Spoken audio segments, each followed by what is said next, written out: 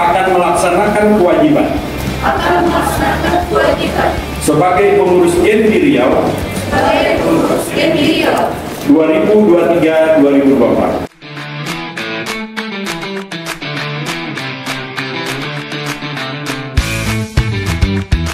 Setinggi bintang di